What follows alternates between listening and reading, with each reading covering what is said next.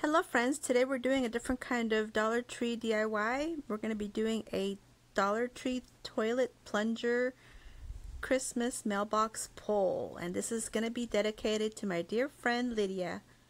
Girl, here you go.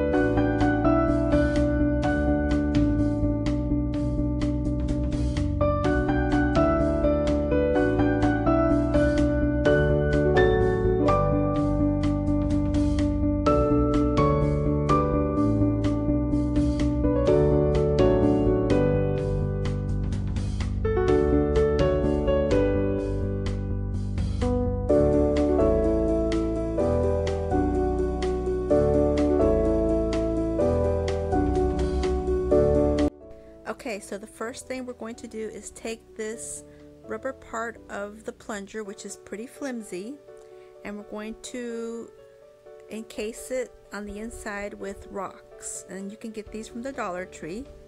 You can get a big pack of rocks for a dollar.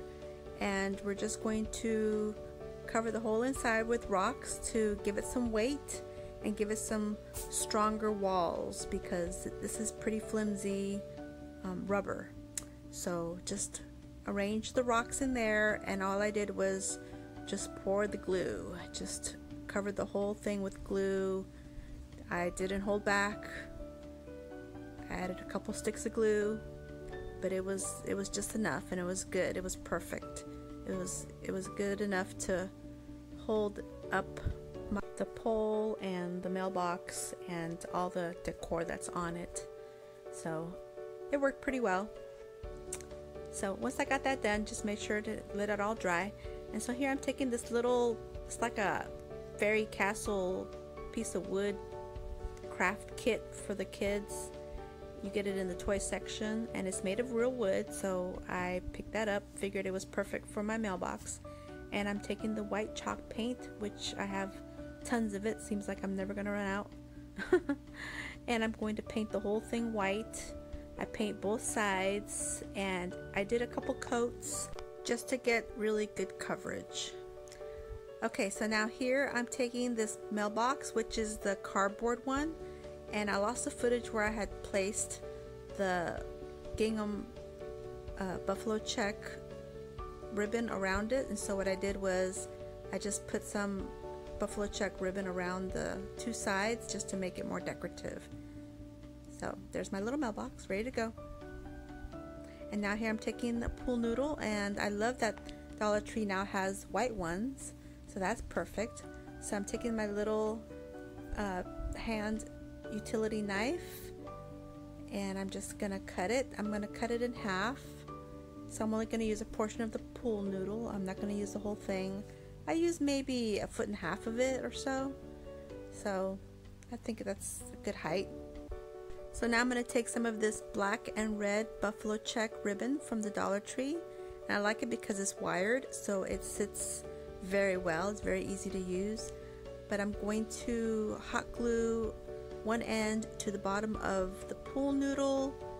Hold it down with my little spatula because I don't want to burn my fingers. And I love these little spatulas. They're made out of silicone so you can hold it down by the little silicone portion to hold everything down and you won't burn yourself.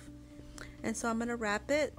I'm going to wrap it kind of like a candy cane stripe and just kind of pull, hold it tight, add a little dab of glue here and there just to help keep everything secure and in place. And so just keep rolling, rolling, rolling until you get to the bottom and just snip off when you're done and hot glue that in place, secure it well, and just press it down again with my little spatula, my little silicone spatula, and get that finished, get ready to go. Looking cute. Securing the little ends. Gotta get it nice and finished. Want anything falling apart on me. But just take your time and get it all nice and secured. Just don't burn your fingers. So a quick backstory on why I'm dedicating this video to my friend Lydia. She recently realized that I have a YouTube channel I had not told many people and she sent me a picture of a toilet plunger Charlie Brown Christmas tree and she laughed and I thought oh my goodness okay I'm gonna dedicate this one to her okay so now I'm taking this little wood log that you can get from the Dollar Tree. You get it in a bag in the floral department. And I'm going to place it in the hole for the top portion. I'll be gluing that little log onto my piece of wood that I painted white. So here's my piece of wood, nice and flat. I like it because it's really flat. And my mailbox would sit perfectly on top of it.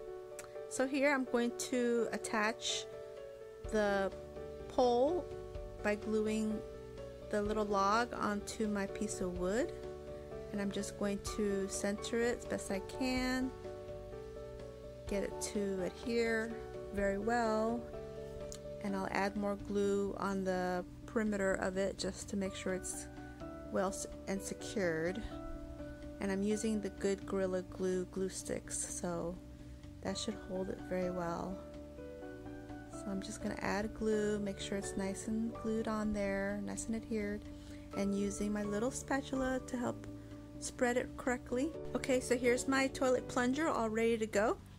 So I'm taking some of this garland that you get from the Dollar Tree, and there's 15 feet of it. We're going to toss that on there. And now we're going to get a little wreath, a mini wreath from the Dollar Tree toss that on there. And now our pole that's nice and ready, toss that on there. And then here it is. I did end up putting a bow, buffalo check bow, but look how cute.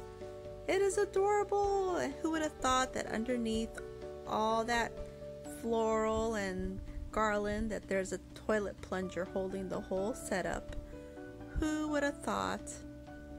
But look how cute. All ready for the grandkids to come over and put their little letters in there for Santa. So cute. I can't wait for them to see this. So adorable.